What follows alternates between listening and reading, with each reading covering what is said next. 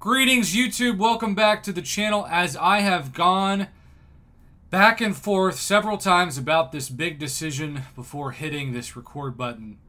I mean, it is, by all accounts, a very important rank up for me because I have so many champions that I want to take eventually to rank 4 and then eventually, of course, rank 5. As 6 stars, these are champions that maybe I could actually ascend. By the way, it's also worth noting that I get a uh, more energy help in about, I don't know, a second. We'll see. So, I usually use most of my champions for the arena. You can see this. Not a very exciting topic, not a very popular topic. The arena is like pulling your teeth out. I get it. But when it comes to my rank 3 6 stars, there are so many that I want to take to rank 4. I just have to be patient. And the Red Guardian used to be at the top of that list for Omega Red, but as much as I love Omega Red, I don't really use him much anymore.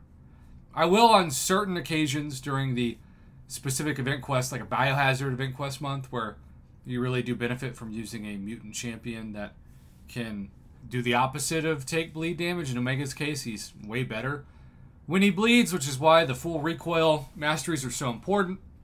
Um, I love Nebula. There's a bunch of defenders that could be much better at rank 4, from Awakened Bishop to Man-Thing to Terrax to Mangog, even Iceman, Spider-Ham, Havoc, Shuri. And then, of course, you've got some offensive people I don't use much anymore, but still fun, like Apocalypse. There was a time where I thought Apocalypse was going to be one of my first rank 5s. He's still not rank 4. But in the grand scheme of things, let's take this Apocalypse, for example. The grand scheme of things, my advice is always use the people either that you use the most or and this is a big or or people that you can't really count on any other champion to do what they do. And that is why Apocalypse is in that category. But we're not going to use him today because it was actually down to Cable, speaking of Apocalypse, Cable and Toad. But the champ that got the most love from me, the champ that I am now a huge believer in, because I have not used him but a few times very effectively, and that one is SIG 200, is Void. So I'm going to do something kind of crazy. I'm going to tap that rank up. I'm going to bring myself back in.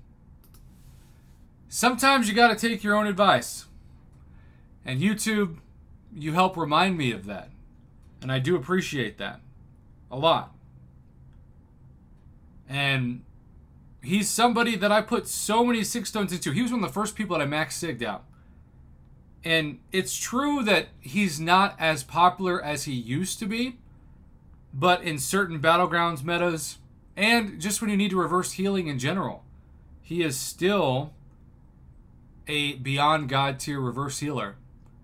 And when you take him to rank 4, he can be very annoying to fight. And I um I'm very cognizant of that. And I don't want to take that for granted because he still is a bit of a Swiss Army knife and I almost feel like Kabam hasn't wanted to make another Void since. And you might say, Prof, why are you doing this when you have a Void that is now your newest, somewhat dramatic drum roll, your newest seven star?